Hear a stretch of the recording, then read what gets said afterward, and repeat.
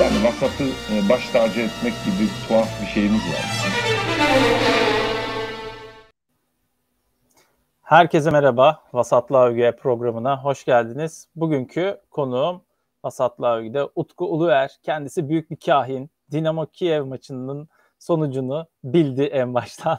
Fenerbahçe maçı hakkında bir tahminde bulunmuştu. Fenerbahçe dair e, öngörülerini almıştık Dinamo Kiev maçı öncesi. Sezon öncesi de neden olmasın sezon öncesi değerlendirmelerini de alalım istedik. Utku hoş geldin merhaba. Hoş bulduk. Ee, gerçekten e, şımarttınız beni. Kain değil sadece hissiyatımı söylemiştim. Ee, yani biraz ayakları yere basan Fenerbahçe taraftarları da olsun diyorum. Çünkü arkadaşlarıma bakıyorum. Hepsi çok coşkulu arkadaşlarım ve başarı istiyor herkes. E, fakat ya çok karamsar oluyoruz ya çok e, iyimser oluyoruz. Yani biraz böyle daha böyle e, temkinli davranmak iyidir ama karamsar olmadan. Yani bir taraftar olarak e, farklı görüyordum genele göre. E, korktuğumda başıma geldi. Peki hakikaten bir senaryo yazılıyor hani yaşananlar üzerinden işte kırmızı kart oldu, penaltı kaçtı e, ve Fenerbahçe'nin de aslında alabileceği bir maçtı ve bu yüzden de birazcık üst üste gelen talihsizlikler de Fenerbahçe'yi biraz e, uzatmalara götürdü ve kötü etkiledi. Sonuçta da e, kaybetti deniyor. Sen maçı nasıl görüyorsun? Gördün. Biraz da onu konuşalım. Sonra da hem Slovaçko belki o takıma dair bir şey e, izlemedik ama e, hem de lige dair görüşlerine geçeriz. Ama tabii Dinamo Kiev öncelikli. Yani şöyle maçtan sonra da pek çok arkadaşımla tartıştık bu konuda. Fakat en sonunda hani vardığım, uzlaştığım nokta şu oldu. Maç kesinlikle Jorge Jesus'un e, hanesine yazmalı. Çünkü iki ya da üç çok önemli hata yaptı ve bu da e, skora tesir etti. Daha sonraki yani etken olarak ben ben e, şeyi de görüyorum. Fenerbahçe'nin kadro yapılanmasındaki hatayı da görüyorum. Üçüncü etkende biraz hakem oldu gibi. Ama çok önemli değil. E, aslında üçüncü etken Lucheski oldu. Dördüncü hakem değil. Daha doğru olacak o. E, yani birincisi e, İsmail eğer ilk yarının ikinci yarının başında çıkartmış olsaydı ve penaltıyı da Valencia değil penaltıyı atabilecek bir insana attırmış olsaydı bence. E, Fenerbahçe 3 farklı skorla bile sağdan belki ayrılabilirdi hani. Bir de Arda Güler'i almadı oyuna bence. O da çok büyük hata. Bir sakatlığı var deniyordu ama hani bu kadar büyük ne sakatlığı vardı da yedek kulübesinde oturttu acaba diye de düşündük yani madem vardı. Ama oynatsaydı Arda bilemiyorum. E, bence etki ederdi. Ben zaten sana öyle yazmıştım. Al Arda'yı Serdar'ı oyna. Aynen. Arda Hı. bir kessin, Serdar da kafayla golü atsın. Nitekim Atilla Salahi kafayla bir gol attı. Ve böyle uzatmaya gitti. Diğer yandan da Serdar'ın da bir kafayla vuruşu vardı yanılmıyorsam ya da Valencia'nın. Kaleci evet. yine e, uzak köşeden çıkarmıştı. Hani takım ve maç neredeyse aslında başından beri de bunu istiyordu belki de. Joshua King'le neden başladığını ben çözemedim. Yani her ne olursa olsun 7 tane milli maçta 8 tane mi gol attı ya da tam tersi mi Serdar Dursun? Hı, yani evet. bu, bu bile rakibin hani tamam Almanya'da zayıf rakiplerle oynuyor ama hani 7 maçta 8 tane gol atıyor mu forvete? Atmıyor yani. Bak Serdar Dursun atıyor onun kendi seviyesine göre. Burada da oynayabilirdi. Bir inat var bence Jorge Jesus'ta da bu Serdar Dursun'u oynatmama konusunda. Hmm. Hani eldekileri değerlendirir, şöyle yapar, eleştirilir, e, şeylerini de yorumlarını da sanki e, taca atıyor şu anki tavırda takım tercihi, oyuncu tercihi açısından. Yani şimdi e, mesela Serdar Dursun'la King belki iyi anlaşacaklar ama mesela King'in çok kötü son vuruş olduğunu maçta görmüş olduk. O, o şimdi onun yerine Serdar Dursun daha şurada. İkisi bir arada olabilirdi. Ben Valencia'yı nedense maç başında alırım hani oyuna. Yıpratır rakibi. Ondan sonra daha kabiliyetli insanları e, oyuna sokarım falan gibi düşüncelerim var. Hani hepimiz Champions League manager oynuyoruz ya bir şekilde. e, biraz öyle düşündüğüm bir oyuncu o. Yani iyi niyetli bir oyuncu ama Emre Mor'u ben çok sevmem. Yani en başından beri de çok ısınamadığım bir oyuncu. E, böyle Emre Mor ama oynadığı dakika süre boyunca birazcık ikinci yarının başında hareket katmadı mı sence de? Tabii tabii. Ya ama hareket katıyorlar. Yani Fenerbahçe zaten hareket katan çok var. Ama hareket bitiren yok. Bize bereket kat diyorsun. Hareket değil. Nerede? Hareket orada bereket e, falan. Ama bizde yani Fenerbahçe'de öyle bir şey olmuyor. E, öyle bir değişik bir devamlı yapılanma var. Yani o, onu aslında girmek istiyorum da e, gireyim mi şimdi yoksa biraz sonra mı? İstediğim gibi gir. Sarı lacivert de, sarı mavi de yaptım arkayı. Böyle de devam edebiliriz. Yani ya şöyle, yapılanmadan kastın nedir? Yani şimdi e, mükemmel bir başlık var bence. Yani programın ismi Vasatla Övgü. E, e biz de biraz Fenerbahçe kadrolarına vasat vasat kadrolara alıştık artık ve onları övüyoruz ya da sövüyoruz. Ya çok vasat kadro oluşturuyor. Çok kötü bir kadro mühendisliği var. Yani şimdi kim e, kimin e, kiminin gideceği daha önceden belli deniyor. E, o zaman adam niye devamlı hazırlık maçlarında en has oyuncu olarak oynatıldı? E, bir de neden o gidince hemencik iki tane stoper alındı? Yani çünkü normal şartlarda da bir en azından bir tane stoper alınması gerekiyordu bence takıma. İyi bir yedek olarak. Ee, ondan sonra apar topar iki tane stoper geldi. Bir arkadaşım e, bugün bana hani iki tane stoperin yan yana oynamış olduğundan dolayı e, verimli olabileceğini söyledi ama gelen stoperlerden bir tanesi de şimdi isimler o kadar çok karışmaya başladı ki hata yapmak istemiyorum. Gustavo Henrique. Gustavo Henrique'ydi galiba. Ya, yanlış mı? Yok. Flamengo'dan gelen oyuncu evet. Yani onun da dizinde sakatlık var. Ee, çok ilginç futbolcular bulabilme e, kabiliyetine sahip Fenerbahçe'nin. Joao Pedro'nun da bir sakatlığı var. Aynen. Ya o da e, yani Serie A'da oynamış oynamış. Bizde geldi sakatlandı. O, o da süper. Lindelof Ondan sonra cuma e, santrofor almadılar. Yani şimdi Joao Pedro'dan ben birinci pozisyonda da oynayabilir diye düşünüyorum ama öyle bir takım oluştu ki acaba onu birinci pozisyon almadı mı? Ondan sonra e, e, birinci po- pozisyondaki santroforu yok Fenerbahçe'nin. E, zaten maça çıktı. Dinamo Kiev'de birinci santrofor olmadığı için gol atamadı bence. E, e, arkada garip bir durum var stoperlerde. Sol bekten de e, Ferdinand de golleri yiyince tabii sol bek aldılar şimdi. Biraz önce televizyona bakıyordum. Ne de Alioski gelmiş bize. Alioski geldi. Luan Perez geldi ayrıca. O da solda değerlendirilebiliyor. Yani e, yani şey e, Sazai da yani o da sol bek oynayabiliyordu ki yani evet. verimli de olmuştu. Ama o da gidecek ee, gibi gözüküyor. Evet o da gidecek gibi. Yani çok acayip bir şey oldu. Yani Fenerbahçe şampiyonluğa oynadığı ve çok iddialı olduğu bir senede devamlı böyle oturmamış bir kadro var. Bir gidecekler var. Yani arkadaki en sağlam yer hani şey olacak diye. Ee, yani Crespo oturmuştu. Crespo'nun yanına İsmail güzel olabilir, uyumlu olabilir. Sonra Arao'nun alınması bence çok mantıksız bir karar değil, mantıklı. Fakat Fenerbahçe yine sil baştan yaptı. Onun için e, 10 tane transfer var şu anda takımda. Yaklaşık olarak 28 milyon euro mu ne harcanmış durumda. Ki e, dizinden sakatlı olma ihtimali olan futbolcuyu alma opsiyonunu almışız. Ayrıca Buruma'yı da. E, yani Fenerbahçe'nin masrafı sezon sonunda 35 milyon euroya da çıkabili. Yani dizinden ee, sakatlığı olan, iki buçuk ay diz sakatlığı tedavisi görecek olan oyunculara bu kadar para gömülmesi ani yani tabirle bir yönetim beceriksizliği. Hani diğer yandan Galatasaray'ın elinden aldık diye sevinilen Joao Pedro'nun bu kadar yatacak olması bu kadar paraya hani iki buçuk milyon fazla vermiş herhalde yatış parası galiba o da anlamadım. Hastaneye o zaten inanılmaz bir şey. Yani orada e... şey olabilir ben şey düşündüm şu anda hemen aklıma geldi. Koç Üniversitesi hastaneleri var biliyorsun. Belki bütün tedaviyi orada karşılayacaklar. Joao Pedro da tamamen fiziki açıdan hazır bir şekilde gelecek Ali Koç'un hastanelerinde herhalde. Ya abi yani şimdi e, bir sürü şey söyleyebiliriz. Ee, söylememi tercih ediyorum ben. Ama e, yani ben mesela çok umutlu girmiyorum sezona. E, büyük ihtimalle bence ama bu Avrupa eleme turundan e, yani 2-3 farklı galip ayrılacağız gibi geliyor bana. Yani Slovaçko'yu takım... yenip daha sonra Avusturya Wien'le eşleşti bu arada. Evet. Ee, Ondan sonra Avusturya Wien'de ya şöyle bir şey var. Ee, ya Avusturya takımları genelde Fenerbahçe'ye ters gelmiyor. Ee, hatırladığım kadarıyla da elendiğimiz takım da yoktu galiba ya bizim. Avusturya takımına Beş, Beşiktaş, Beşiktaş'a galiba ters geliyordu Avusturya takımları yanılmıyorsam. Bir Wolfsberger'i galiba elenmişti. Beşiktaş mı ya da Başakşehir mi oynamıştı onlarla? Bir Wolfsberger hatırlıyorum Avusturya'dan. Ama Galatasaray çok sık oynuyordu tabii ki. Sturmgras, evet. Rapid Wien bunlarla çok sık oynadı. Yani ee, Galatasaray'ın Avrupa'ya ısınma takımları Avusturya takımları oldu aslında. O öyle bakarsak. Yani evet. Avrupa deneyimini Avusturya takımları ile elde etti ki yani ikinci seviye, üçüncü seviye takımlardı. Ya bilmiyorum Euro, yani Fenerbahçe bence kalır gruplara. Öyle gözüküyor.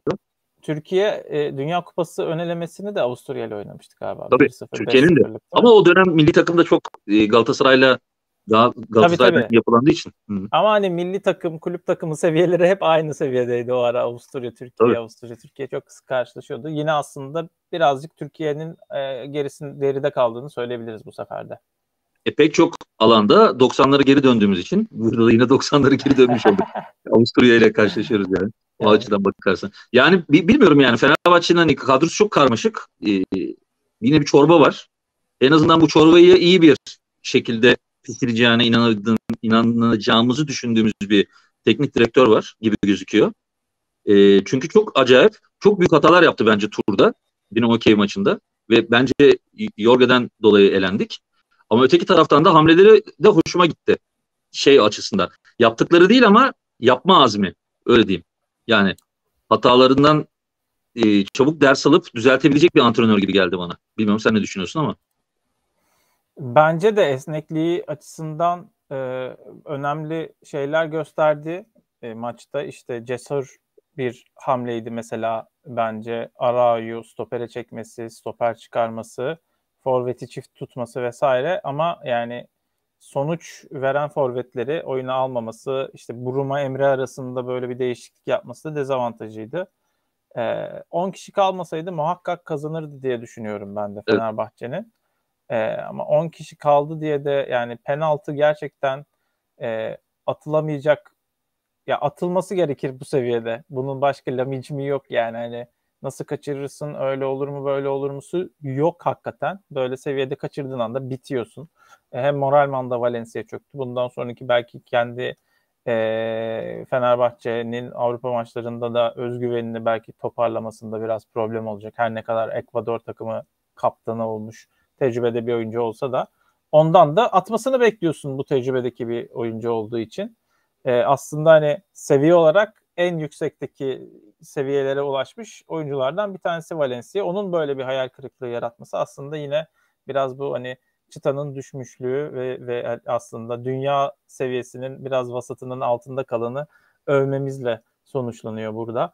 Ee, aynen. Ve ya bu hani, işlemi yapıyoruz bu anda. Ekvador'un takım kaptanı diyor.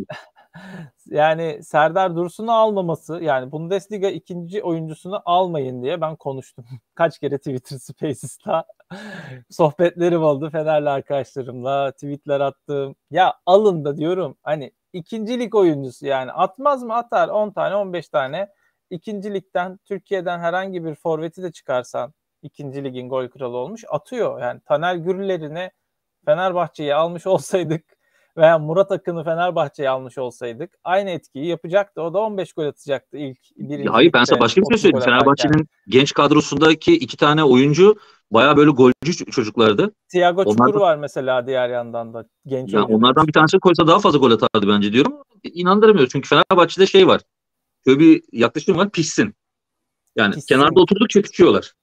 Anlatabildim mi? Pişmiş olarak oyuna girmeleri gerekiyor. Evet. Nasıl pişecek onlar? Kenarda Buhar, oturarak buharlaştı hocam artık oyuna girmesek mi şeklinde de esprileri yani dönüşür. Onun için 5 takımdan arada sırada böyle gençleri soksa Fenerbahçe'nin altyapısı çok sağlam bence. Yani şu anda çok garip bir şey ama Türkiye'nin en iyi altyapıdan e, oyuncu yetiştiren takımlarından bir tanesi Fenerbahçe. Öyle öyle Ve var ama işte az seviyede değerlendirmek. A takıma çık, çıkması çok zor.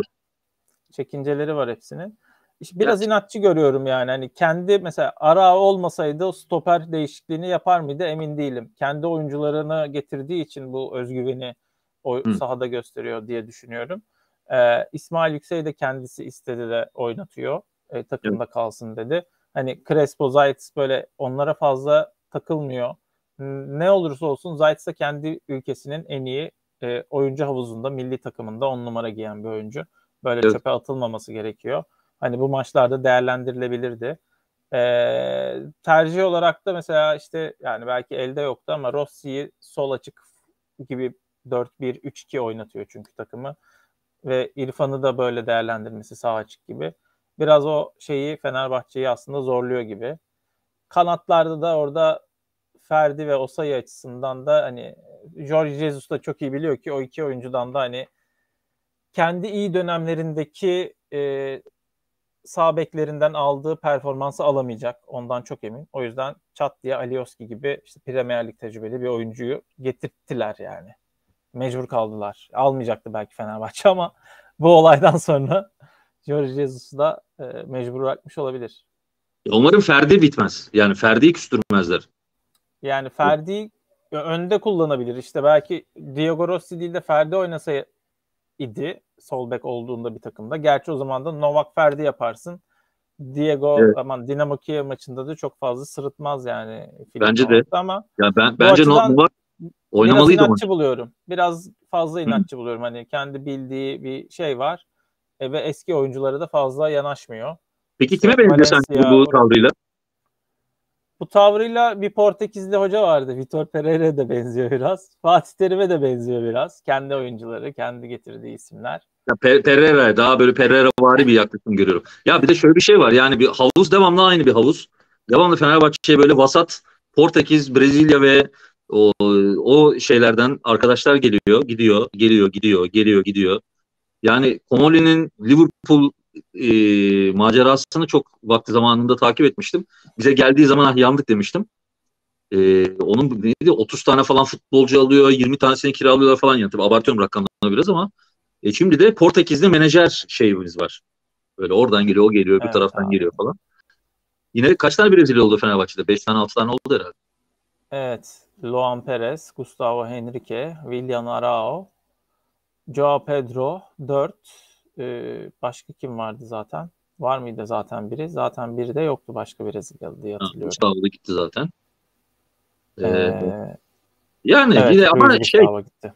yani Portekiz ve İspanya Ligi şeydi. Ama işte önde denediği oyuncular da diyor ki Joshua King Danimarka milli. Hı. Öbürü Ekvador milli.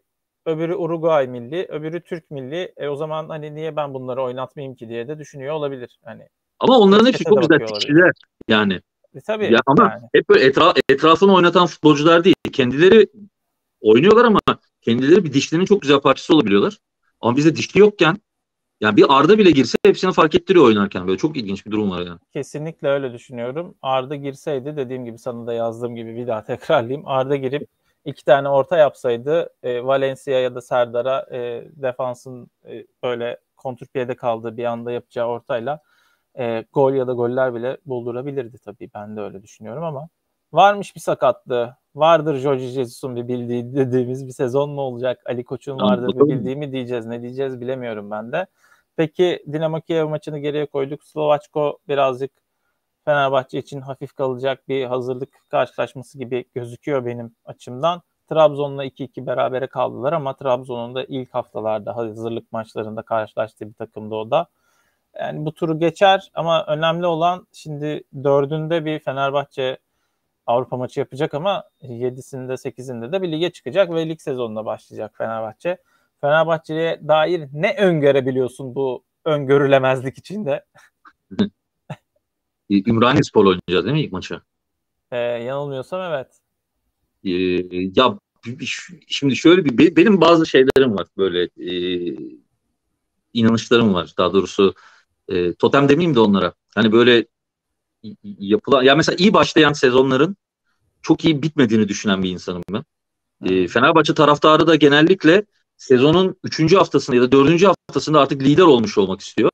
Ve o liderliği sezonun sonuna kadar tamamlamak istiyor.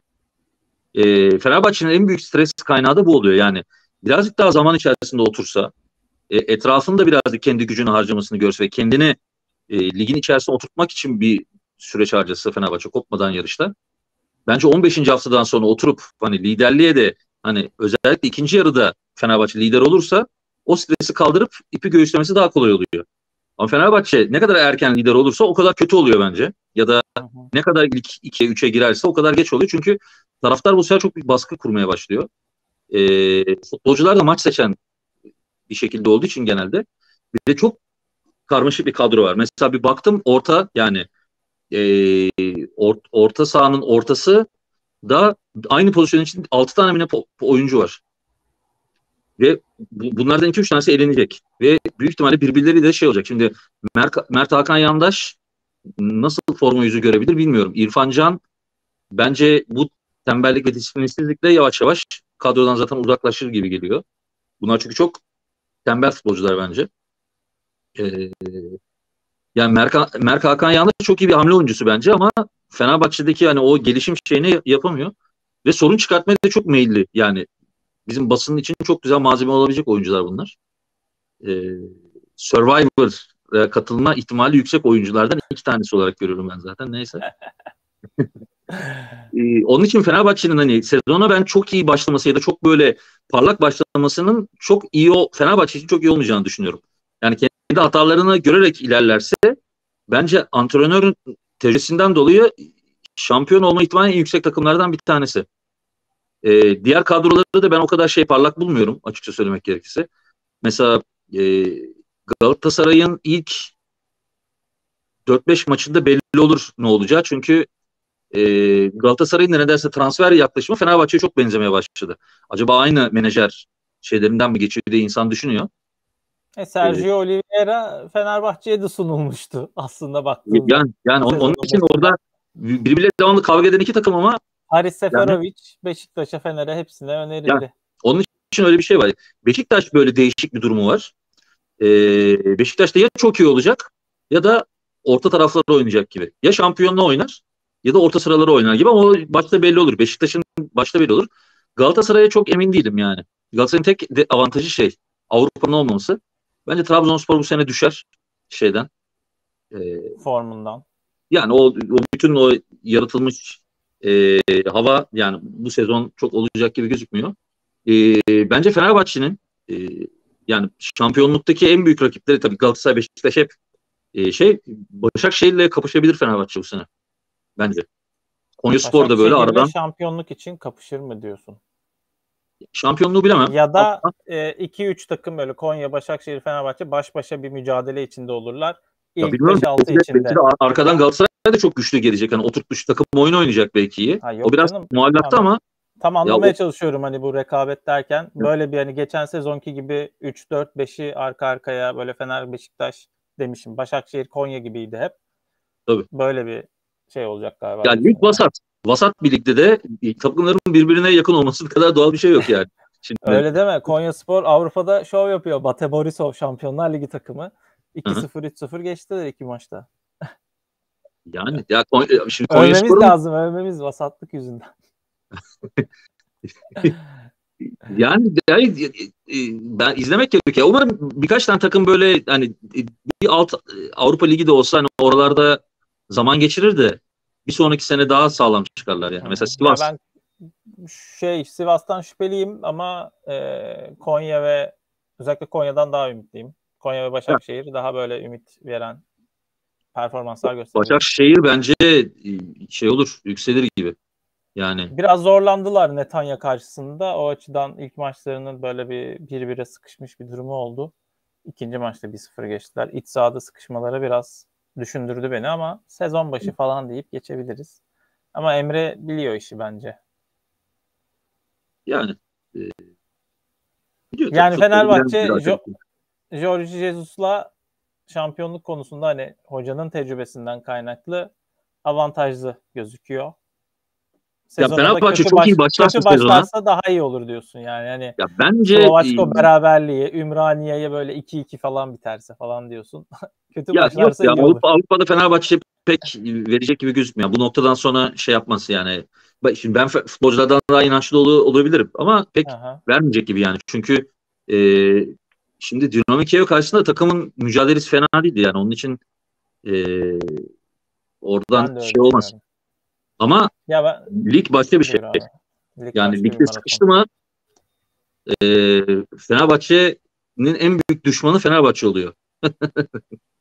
yani bu sezon en büyük engel Fenerbahçe'nin e, kendisi diyorsun. Bu kendisini aşarsa Fenerbahçe engel olarak şampiyonluk yoluna daha iyi bir e, seyahat yaşayabilir mi lig maratonunda?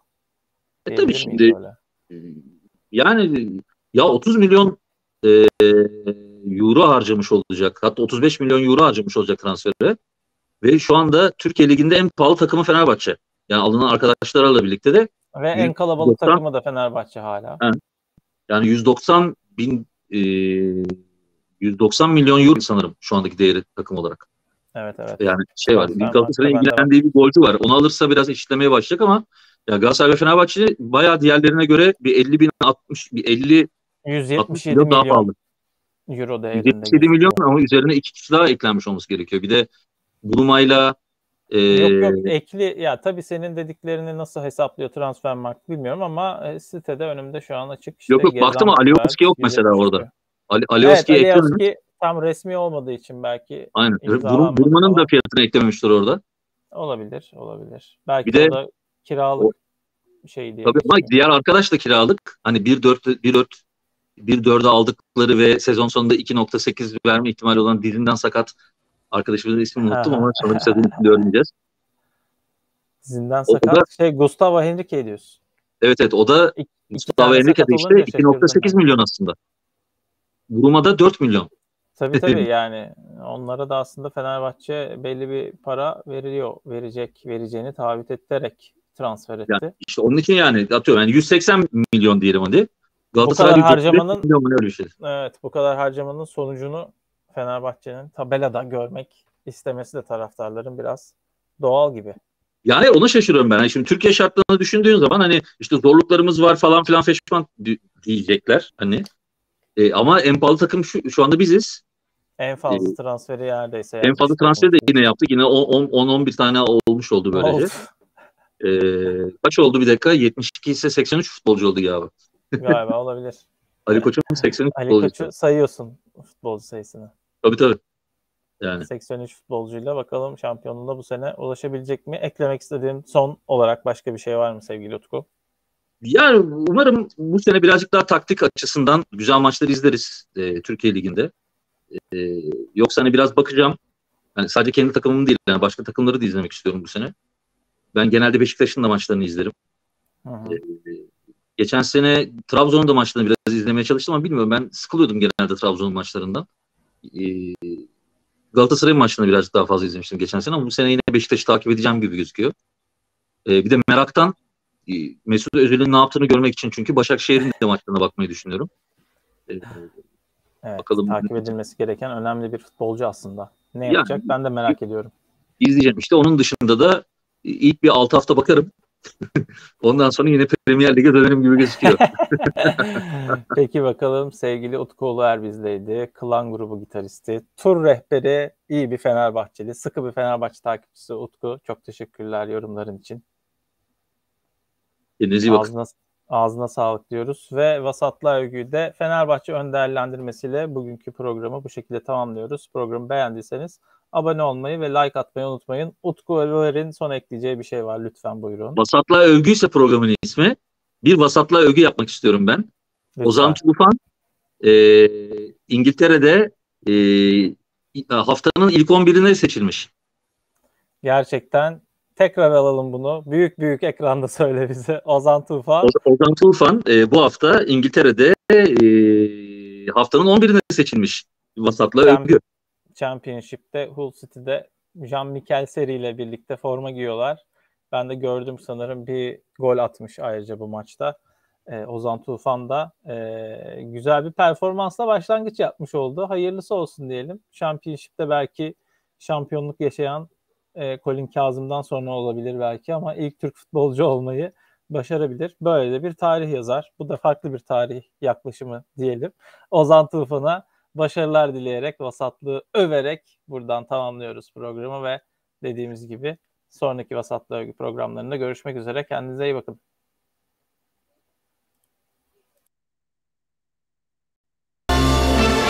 Yani vasatı e, baş tacı etmek gibi tuhaf bir şeyimiz var.